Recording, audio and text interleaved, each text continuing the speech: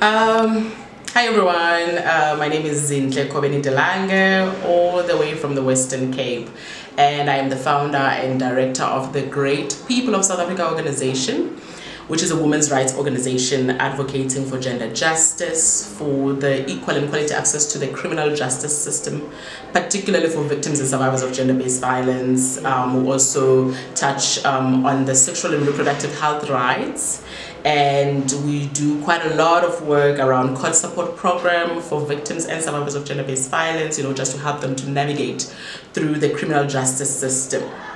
Now, um, with the projects that we implemented with our funding that we received from WVL SA, we, which we're very grateful for, um, we got to obviously facilitate the court support programs, um, provide free, basic, or rather paralegal advice services to victims and survivors of gender-based violence.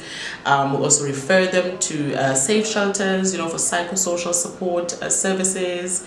And what we also did, um, which really caught a lot of uh, media's attention, was our informal um, uh, post-school paralegal training programs, which is a program designed to empower victims and survivors of gender-based violence with basic legal skills. So what we do is uh, we take them through this program for a period of three months, and after that we place them in uh, the GBV hotspots um, within the city of Cape Town, and there's been eight of them that have been identified.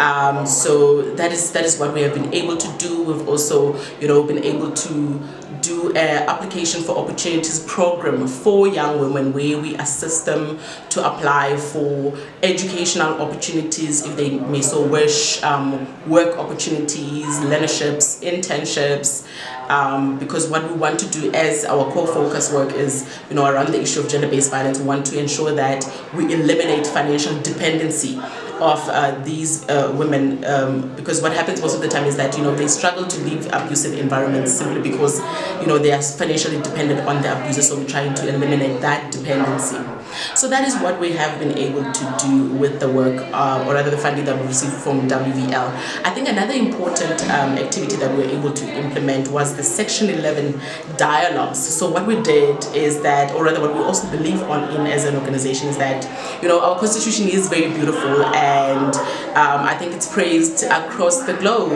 But we also feel that our constitution um, needs to be amended, such as uh, you know Section 11, which is the right to life. I know that we've, signed international treaties and all of that, but I think that our constitution should accommodate South Africans first before we, we expect to be praised, you know, by, by, by, by, by the entire world. So we, we, we've been engaged with communities that are most affected by gender-based violence because, look, our country is, a, you know, we're in a pandemic.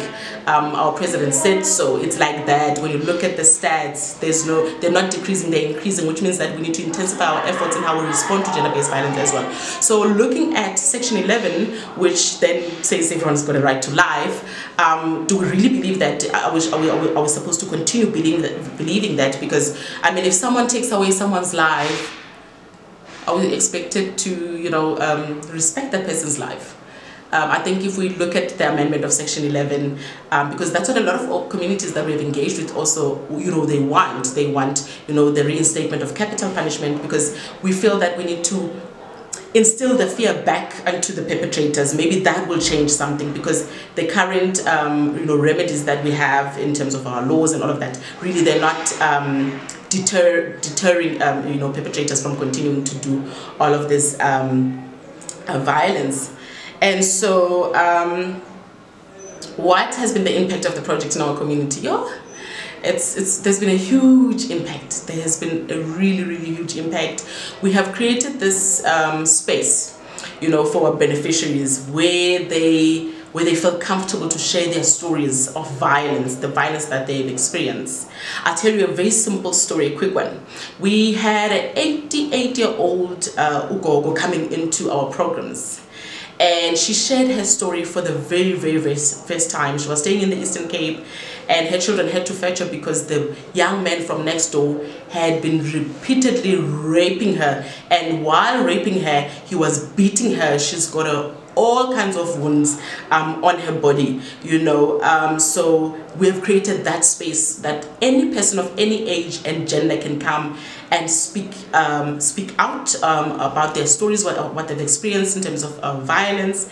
And so the impact that we have then had on the community was really uh, creating community cohesion, you know, because in this one particular community, the community of Down Twin Khayelitsha, where almost 80% of our uh, programs take place, um, the communities, they, the members, they didn't get along at first. Even in our programs, you could pick it up that when one person stands up to make a point, they're sort of like indirectly talking to the other. And because we've been there in that community for so long since we received our funding in, in, in 2020 from Gender Links, we have created that spirit of togetherness. Now they know that the person that they didn't get along with back in 2020, if they have a problem at home, if someone, or they feel that someone is trying to break, they can call that person. So that is what our program has done, just to create that community cohesion um, um, within the community. Um, yes, of course. Um, look, um, having the WVL funding literally opened doors to other fundings that came through. Uh, we were extremely blessed to receive this funding uh, because, you know, if, uh, if an organization such as Women's Voice gives you money, uh, the next organization also thinks if they got money from WVL, what's stopping us from giving them money? So definitely that what that's what they've done. They've, they've opened up the space for us to be able to receive um, more uh, funding. The impact that this funding has had on our organization, oh, visibility. Um, oh yes, this is something I, I, I don't ever want to uh, forget mentioning. Our organization has had, I think, the most media coverage. Um, you know, and, and across all media platforms, our social media is buzzing. Um, and all platforms, Twitter, Instagram, Facebook, we're on TikTok you know, uh, we're on YouTube. Of course, we're encouraged by, uh, you know, this the same funder to, to do the same thing, you know, to venture into these other platforms. And we're doing extremely well. We've had a lot of media coverage, traditional media coverage. There's not a, a month that goes by and we are not um, on the papers or on doing a, a, television interview. So that is, is one thing that this, um, you know, funding has contributed towards our organization, the visibility. And of course, visibility means that other uh, potential funders get to see your work. Um, you know, it's, it's, it's been so it's been so inspiring and so incredible. I actually get emotional just thinking about it. Um, before WVL, our organization was we were working, but not as effective as we started being when we received this funding. So it has grown, we've grown um, in terms of our organization structure. I mean, we have a, a well-functioning board right now. We, ha we have increased our staff members. And, and what's also nice about this is that, remember I told you we have this informal paralegal training program. So our staff members are made up of those uh, in, informal uh, paralegal trainers. They are now our community-based paralegals. And so they are able to also respond effectively and efficiently to GBV cases uh, within uh, you know their, their communities. Um, yes, um, it has definitely increased our networking and alliance, but it has increased immensely. We have partnered up with organizations that we never thought we would work with. Organizations such as Langa for Men.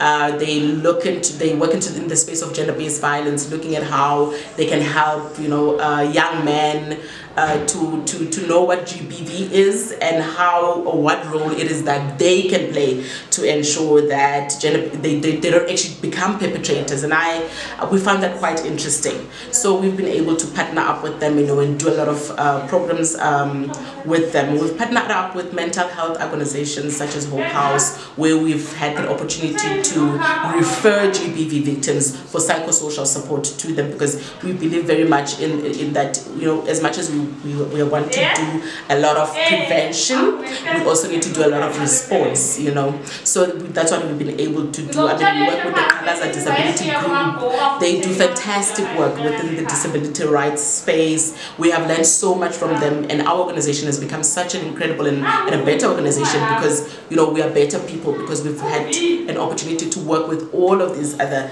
um, grantees and that's just a few that I can mention. And of course, we've worked with other uh, WVL partners such as New Heritage, Kwanele. We did a whole GBV and mental health um, awareness uh, campaign with them. We have worked with INEM NPO all the way in KZN, and right now we are planning, uh, you know, um, collaborating collaborative events with, um, you know, organizations such as Mutale Victim Empowerment Program, where they are based in Limpopo. Uh, we're working with Sisonke, uh, National Sex Workers um, uh, Movement, and that is something that we are extremely, extremely, uh, uh, you know, excited about. And of course, Epic Youth Matters all the way in KZN. So, so definitely, I mean, yo, we've we've definitely grown our partnership. Um, shoo, have we increased due to this grant? Yes, definitely, yes, it has, um, without a doubt. Let me see, what other improvements have we noticed uh, since we received this grant?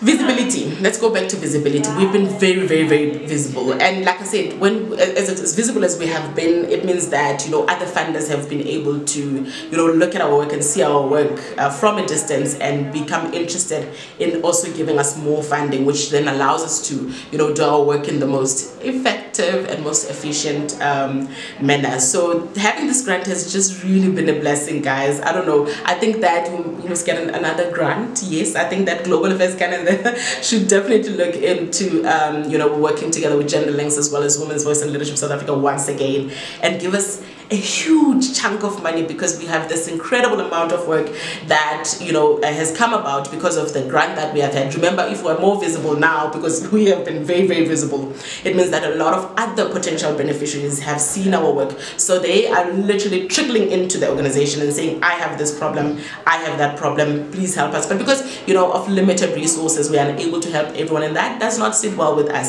So we definitely need more funding because you see now this funding like all the stuff that I've just told you now, it needs to be, you know, um, how can I put this? We need more money. Let me just put it like we need more money, we need more Mandelas, we need more dollars, more Canadian uh, funds so that we can be able to, to, to continue with the work that we have done.